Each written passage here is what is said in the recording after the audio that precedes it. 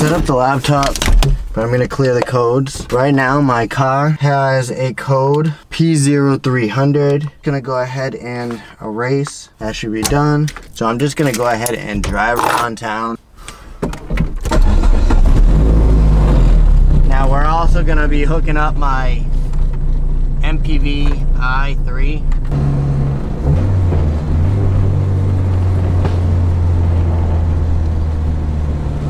Oh, the crazy backfire right there.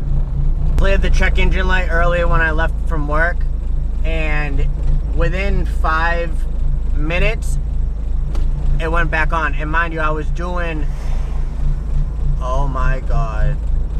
I have smoke coming from my catch can now. Damn! You guys see that? I'm just gonna record until I know it happened. I know it happened out of the catch can.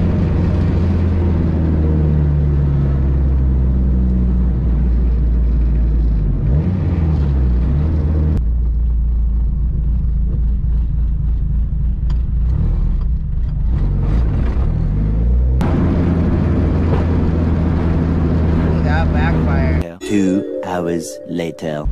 Alright guys, I got the compression tester from AutoZone. It is literally just that, you know. This would go on there, screw into the, the spark plug hole.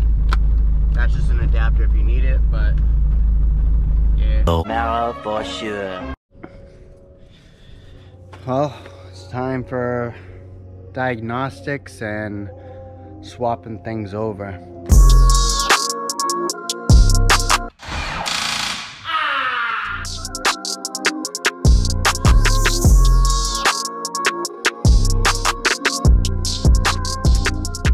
We have the spark plugs out, which you guys can see in order. I'm gonna show you guys real quick. That's the white porcelain right there. Number two has a little bit of orange going on. Nothing crazy. You got cylinder number three. Porcelain looks good. And then you got cylinder four with some oranging going on. Not sure exactly why. Like you see it here is exactly how I pulled it out. That would be cylinder one, cylinder two, cylinder three, and cylinder four. I have a AutoZone rental compression tester. It is literally just that. Right here, already hooked up into cylinder one. I have the four NGK spark plugs out, the coil and the wires, along with my ASD out of my wire tuck. So on here, ASD is right there. The other day I bought Mopar coil pack and the Granatelli wires, a replacement of the original and the replacement coil pack, which you guys can see on the back is the Mopar emblem. Here you guys can see this is my Skittle Fabz coil pack kit. Seven variants of choices on my website, shopskittlefabz.com. It comes with four bolt Allen heads, four dowel spacers, and we got the coil pack cover. Like I said, seven variants. Pretty much gonna be doing this along with the spacers. I'm just letting my engine cool down and go ahead and take off the Johnny Boost cowl that I put on. That's just super dope.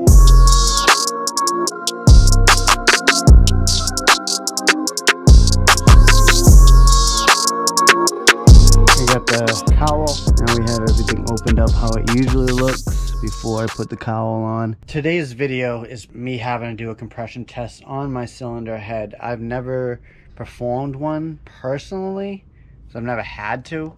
Uh, I've had just indicators that like, yo, I'm blowing smoke. And in this aspect, yes, I am blowing smoke, but I got a previously rebuilt engine.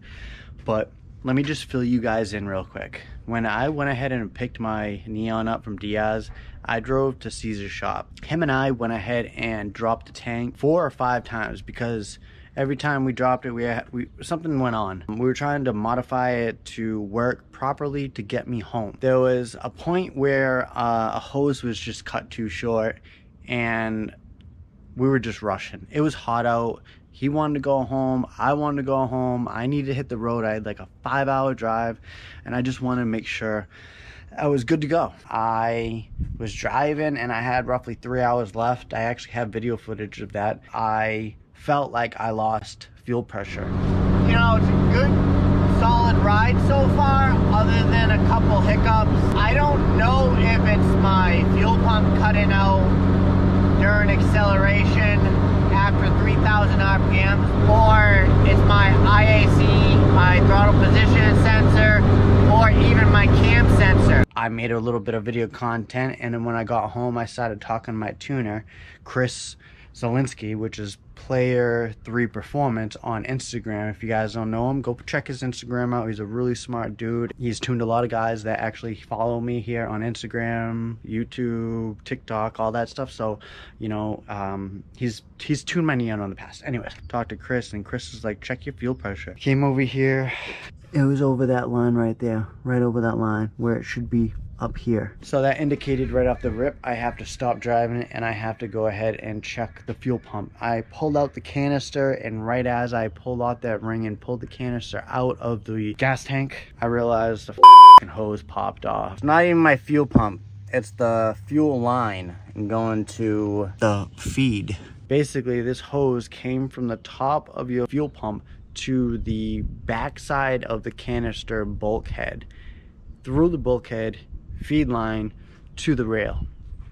I lost fuel pressure. I had three hours to drive still. So with that being said, my car pulled a P0171 code indicating that the O2 sensor isn't reading anything, so it dumped fuel into my engine. I don't really beat on my car normally, and when this all happened, I obviously was very cautious of driving it, but when it came to hills and climbing them, I had to downshift and give it gas. And clearly the line coming off the fuel pump going to the canister bulkhead fit in and fit in it popped off. So I was only getting five pounds of pressure going to my fuel rail. I'm assuming my rings are toast but a compression test and a leak down test will actually tell. So we will see what happens and what we find out.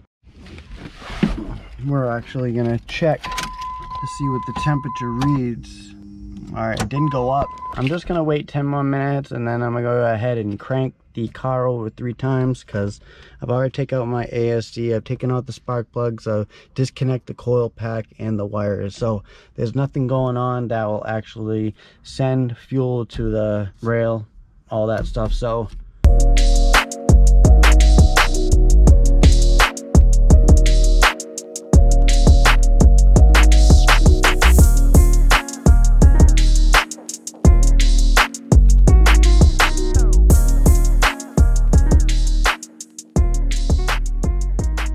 we're gonna go ahead and crank her over real quick. I'm gonna go ahead and mount my camera so you guys can watch it crank over and build up pressure per cylinder.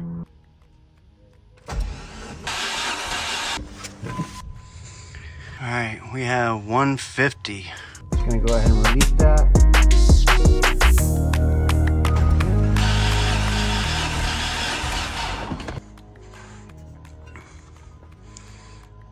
just a under 150 all right now we're gonna do piston number three. I had to just go ahead and double check on cylinder number one because i didn't take a picture but I did take a picture of number two. I gotta make sure i do that after every single cylinder that i do just to make sure i have video and pictures. Even though i can go back to video just always take pictures before you take something apart while it's taken apart and then put it back together with the past photos that you used to take it apart or you know? So have you have reference? All right this is cylinder number three.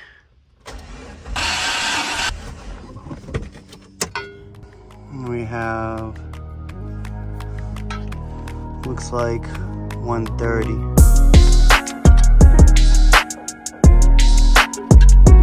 now we got cylinder number four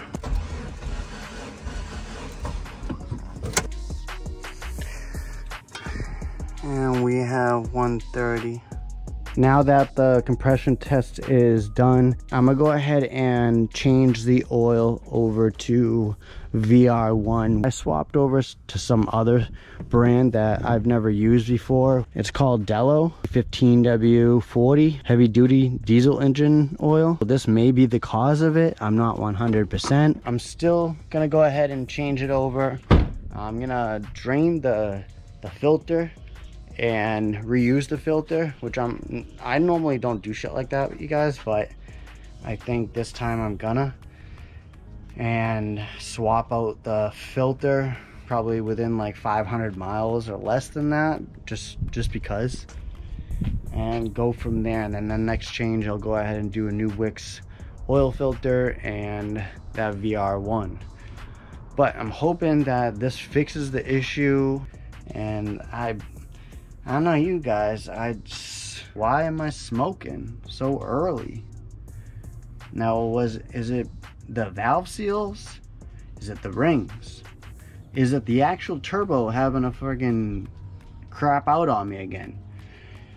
not sure, you guys. That's why I, I appreciate everybody that has been reaching out to me and trying to help me figure this issue out, um, especially with the the misfire code, the P0171, uh, the P0300, P0301.